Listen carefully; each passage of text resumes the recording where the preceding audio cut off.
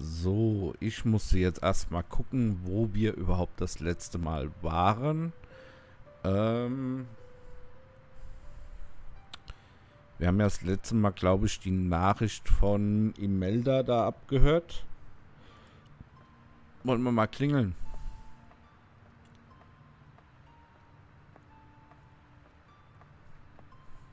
Weil wir hatten, glaube ich, hier das letzte Mal noch gar nichts Die gemacht. Anlage ist außer Betrieb.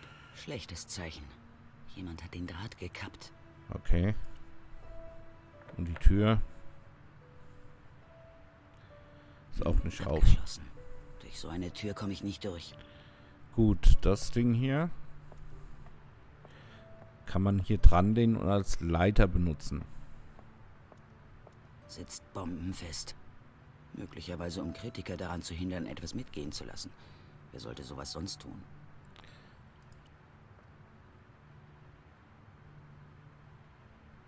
Ja, wir können das hier ganz leicht abmachen. Ich löse den ersten Draht.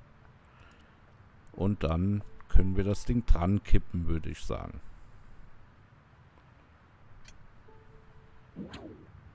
Ich löse den zweiten Draht. Selbst als beide Drähte entfernt sind, bleibt die Statue stehen. Aber jetzt kann ich gegendrücken.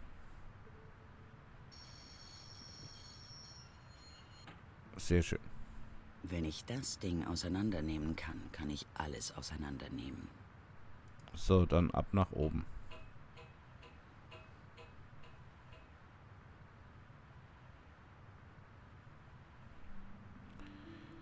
Die Plastikfolie ist dick und stark. Mit bloßen Händen kann ich die nicht zerreißen.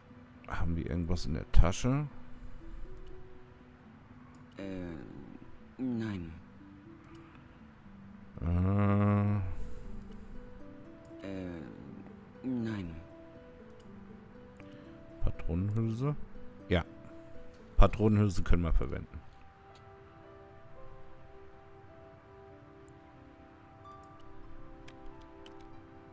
Und jetzt kriegen wir auch die Tür auf. So wie der Mörder damals. So. Ähm. Hier drin können wir gar nichts machen. Wir können nur hier rausgehen. Können wir hier rüber? Ist hier drüben was? Hier ist nichts. Heißt, wir müssen da drüben in den einen Raum gehen.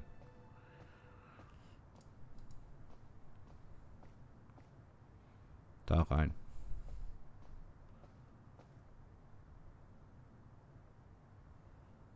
Ja, da rein. Mein Gott. Ich komme zu spät. Und sie ist tot.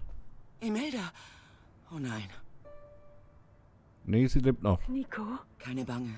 Das kommt schon in Ordnung. du weißt, dass das nicht stimmt. Es war Merlin, nicht wahr? Gekleidet wie ein Edelmann. Wie absurd. Du bist gekommen, um mich zu warnen, nicht wahr? Ich muss verrückt sein. Lass dich ansehen, Nicole. Die ganze Zeit haben sie mich nur benutzt. Wer ist die wahre Imelda? Du bist ein außergewöhnliches Mädchen. Thierry wäre stolz auf dich. Sie kannten meinen Vater doch gar nicht. Du bist wie er. Vor allem die Augen. Ich wünschte, wir hätten mehr Zeit, um einander kennenzulernen. Sie ist tot. Sie hat mich belogen, betrogen und benutzt. Aber warum? Ja. Keine Ahnung, vor allem ist sie Selbst auf... im Tode sieht Imelda unverändert aus. Schön, rätselhaft. Die Eiskönigin allein in ihrem Eispalast. Vor allem sie ist ja auf einmal vom Sie aufs Du umgesprungen. Ich öffne es. Es enthält einen kleinen goldenen Schlüssel. Okay. Ich nehme den Schlüssel. Ich muss gehen. Ich weiß, dass ich nie wiederkommen werde. Ein kleiner Schlüssel.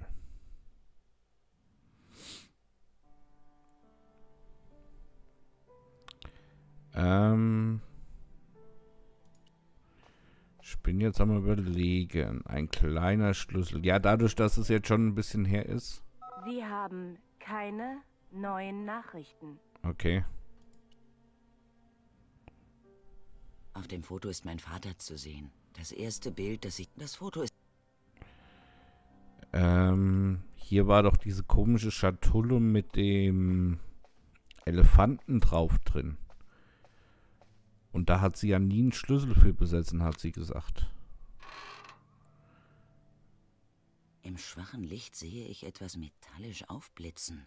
Jemand hat eine kleine, bösartig aussehende Metallscheibe unter die Schatulle meines Vaters geschoben. Es ist eine Wanze.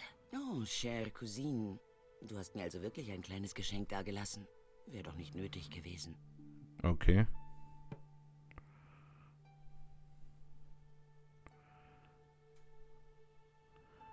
Na, wo macht's?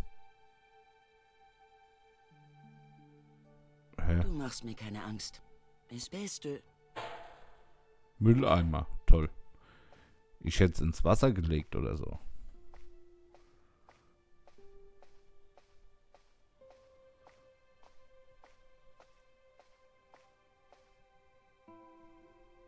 So, hier ist diese Schatulle. Diese Schatulle hat mein Vater geschnitzt. Es gab nie einen Schlüssel dazu. Der Elefant auf dem Deckel ist das perfekte Gegenstück zu dem auf Carchons Kästchen. Gut, wollen wir mal den Schlüssel hier probieren? Ich nehme den Schlüssel raus. Ich kann es kaum glauben.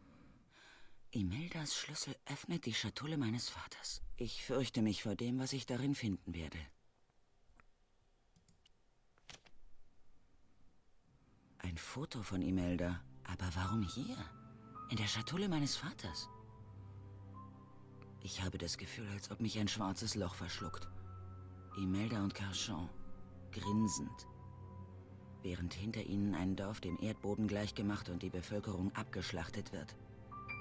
Und da, gleich neben ihnen, schaut mich wie durch eine Zeitmaschine mein eigener Vater an. Ein Brief. Ich fürchte, jetzt kommt der schlimmste Teil.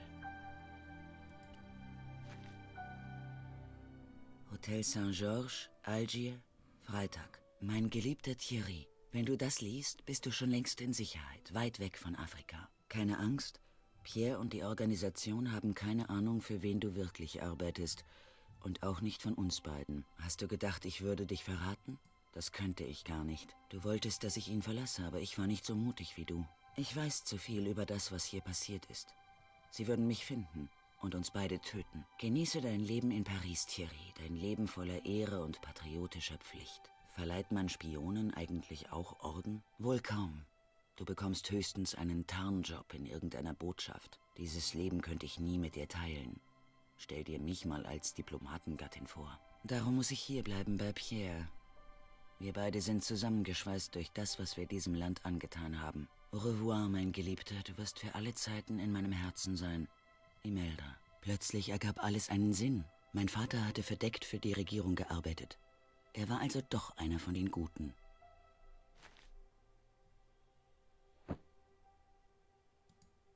Er und Imelda müssen sich ineinander verliebt haben.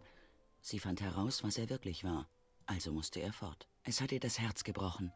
Aber sie hat es nie jemandem erzählt. Ich könnte das auch nicht. Was immer er auch getan hat. Er hatte gute Gründe, es geheim zu halten. Ich habe mich entschlossen, das zu respektieren und niemandem etwas zu erzählen.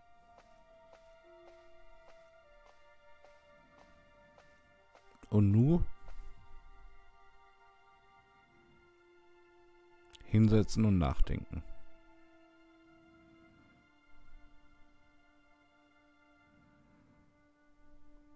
Okay. Am nächsten Morgen. Das ist George. Ich weiß es einfach. Einen Moment lang bin ich versucht, so zu tun, als sei ich nicht da. Oder ihn zu bitten zu gehen und später wiederzukommen. Aber dann... Herein? Hallo, George.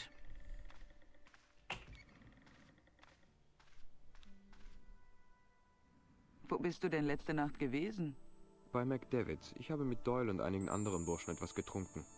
Deswegen siehst du so krank aus. Hast du auch noch eine Mütze Schlaf abbekommen?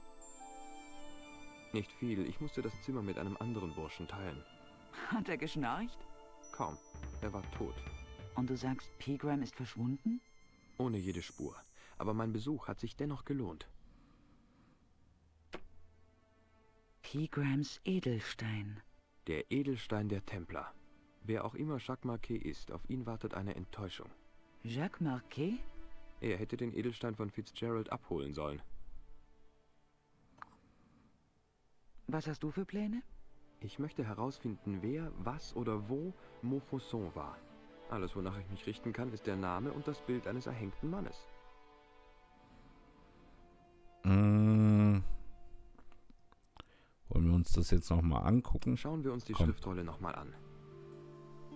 So, also das ist der Da ist Edelstein, ein Typ mit Schwert und einem den wir jetzt haben. Zwischen ihnen steht ein Edelstein auf einem Dreibein. Und das Dreibein ist im Museum. Da arbeitet jemand an einem Webstuhl. Ein Ritter mit einer Kristallkugel. Auf der Schriftrolle des Ritters steht ein Satz in Latein. Durch meine Lehre wirst du das Licht sehen. Eine Frau sieht in den Spiegel, aber das zeigt drei Sch So, Schau das noch. mal.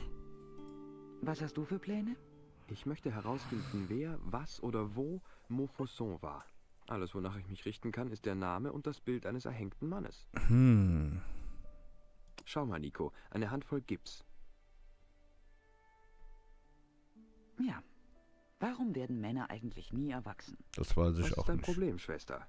Deine Taschen. Vollgestopft mit nutzlosem Schrott, wie die eines kleinen Jungen. Man weiß Aber nie, du, man diesen ne? nutzlosen Schrott einmal gebrauchen kann. Mit der Patronenhülse. Möchtest du das Foto wieder zurück? Nein, das kannst du behalten. Ich kann mir immer noch einen Abzug machen. So, das hat man schon, das hat man schon, das geht nicht, das, das, das hat man. Hatten wir das schon? Mm, auf. Ähm. Mm, mm, mm, ähm. Möchtest du den Edelstein? Nein, George. Die Versuchung wäre zu groß, ihn zu verkaufen. Okay, heißt, wir können Ich bei ihr nicht nichts mehr Tag machen. herumsitzen, so gern ich das wollte. Okay. Vergiss nicht nach Lobino im Museum von Kroon zu fragen. Und warum schaust du nicht mal bei Rousseau vorbei, ob er was gehört hat? Okay, kann ich sonst noch was für dich tun, wenn ich schon mal unterwegs bin? Einkaufen, einen Trip in den Waschsalon? Pass auf dich auf. Äh, Rousseau war der Polizist, oder?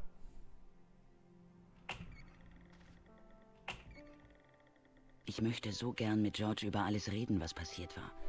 Aber ich weiß, dass ich das nicht kann. Die Verbindung meines Vaters zu Afrika muss für alle Zeit ein Geheimnis bleiben. Nur die Regierung weiß, wie mutig er war. Und ich weiß es auch. Es zu enthüllen würde nur seinem Andenken schaden. Die Leute würden die Geschichte einfach verdrehen. Ganz schnell stünde er als der Bösewicht da und Carchon als Held. Ich weiß, wie man sowas macht. Ich bin schließlich Journalistin. So, also, wir könnten jetzt hier zum Kaffee. Will ich nicht. Rügerie war mal eben. Da ist die Polizeistation und das Museum. Also, entweder Museum oder. Komm, gehen wir erst zur Polizeistation. Der ist doch gar nicht mehr da, Rousseau. Sergent Mouet? Ja. Haben Sie schon mal von einem Mann namens Marquet gehört? Früher war er bekannt als der Maulwurf von Montmartre. Ich habe gehört, man äh, hat ihn ins Hospital geschafft.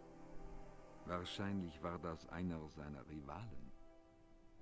In welches Hospital hat man Marquet eingeliefert? In die Aggenmeier-Klinik in der Avenue des Hérissons. Warum hatte Marquet den Spitznamen Maulwurf vom Montmartre? Wahrscheinlich, weil er in Montmartre wohnte, vermute ich. Ja klar, aber warum Maulwurf? Keine Ahnung. Weil er seine Nachbarn den Rasen ruiniert hat? Mhm. Ich möchte einen Überfall melden. Ja, Monsieur. Wo ist das Opfer? Ich selbst bin das Opfer. Ich wurde von ein paar Ganoven überfallen. Ah, ich verstehe. Und wo fand dieser angebliche Überfall statt? Vor dem Hotel Ubu. Sie Angeblich. haben mir aufgelauert, als ich das Hotel verließ und meine gesamten Taschen durchstöbert. Können Sie die Täter beschreiben, Monsieur? Der eine sah aus wie ein Gorilla, der andere wie ein Wiesel. Sie heißen Flapp und Guido. Bon. Diesmal schnappe ich sie mir. Okay. Hm. Habe ich Ihnen schon dieses Foto gezeigt, Sergent? Jawohl, Monsieur. Sind Sie ganz sicher, dass Sie diese falsche Nase hier nicht wollen? Strapazieren Sie meine Geduld nicht zu sehr, Monsieur. Ist ja gut. Erkennen Sie dieses schmutzige Stück Gewebe? Ich habe Nein gesagt, Monsieur. Ich weiß nicht mehr, was wir ihn alles gefragt haben. Möchten Sie mir die Hand schütteln, Sergeant? Nicht während ich noch im Dienst bin, Monsieur. Eine solche Geste könnte man leicht ähm, missdeuten. Habe ich Ihnen schon mein Werkzeug gezeigt, Sergeant? Mais oui, Monsieur. Bedauerlicherweise schon. Sagen Ihnen diese Streichhölzer etwas, Sergeant? Das ist ein schwedischer Zweireiher mit querliegender Bergmann-Reitfläche.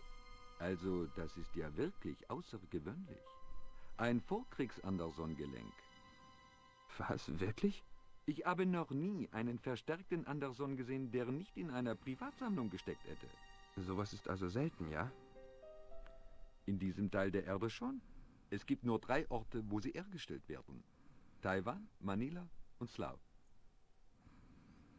Ähm, das Okay. ist keine gute Idee. Okay. Hm, vielleicht doch nicht. Gut, dann sind wir hier Bis auch bald, fertig. Ähm, bleibt nur die Frage. Wir haben jetzt hier was Neues dazu gekriegt. Hospital. Äh, wir gehen morgen, oder vielmehr, wir gehen jetzt erstmal zum Museum und wir machen dann in der nächsten Folge weiter.